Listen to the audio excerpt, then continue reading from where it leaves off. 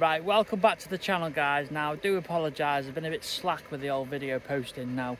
Back on it now, we're going to get some content out weekly for you guys. Now the first one, I've been doing a lot of pellet fishing recently. Hard pellets, shallow, bomb and waggler, short pole, even throwing them down the edge. Now, one little product which I feel gives me an edge with this sort of fishing is actually this bad boy. Absolute fish oil. Now what i'm going to do in this video is show you how i've been using it to my advantage. There's been two ways i've been using it and how what i'm trying to do with the two ways how i'm trying to manipulate my pellets to help me help to catch more fish reduce foul lookers and just keep on catching and filling nets so let's spin it round now and i'll show you what i've been right so essentially the fish oil what this does it just coats your pellets. Now there's two ways about this.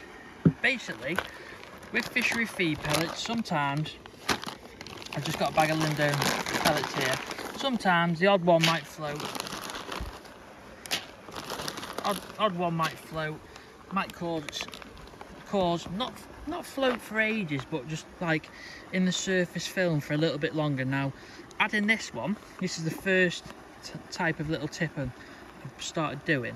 I've been doing it for years. I learned off Jamie Hughes years ago.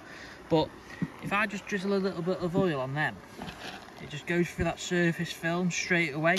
So it just allows me to have my pellets all in that one hit going down to the bottom. Instead of like a flutter of them going down all the time like this just one hit straight to the bottom where I need them to be fishing.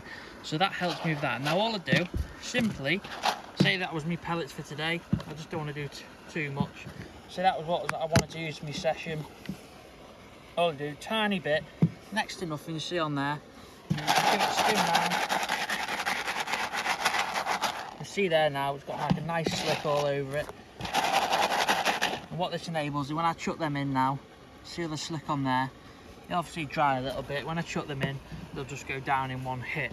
Now, the other way I've been doing it is these are just thin perfect four mils, is because we've had a lot of shallow fishing recently, it's just these have been going for a couple of weeks now all I've been doing is just going out every couple of days just drizzling a bit of oil on there spinning around leave them in my little lockup and they've took on the oil. Now this is the second little tip.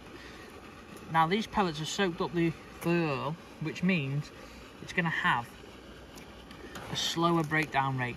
So incorporating this with a nice fine mesh little banded pellet your pellet is going to stay intact. It's not going to go all that furry and take on the water like it does and then you have to change your pellet all the time.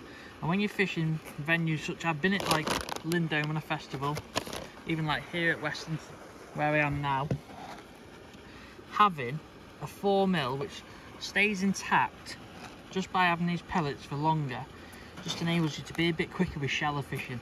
You can either use it in a lasso or band.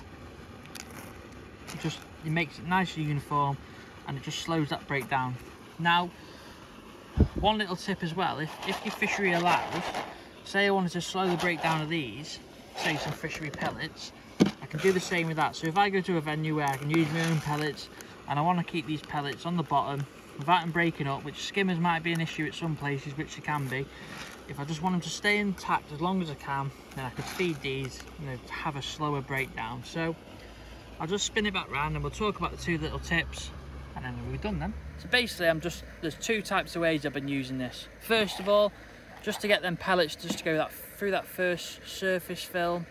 And then second of all, keeping them pellets intact and in shape, nice and solid, compact for longer. So literally you don't need a lot of this. I've just been using this. This is done, to be fair, this has just done them pellets there and it's done about five or six coats of them. You don't need a lot of it. Just make sure it's well mixed through.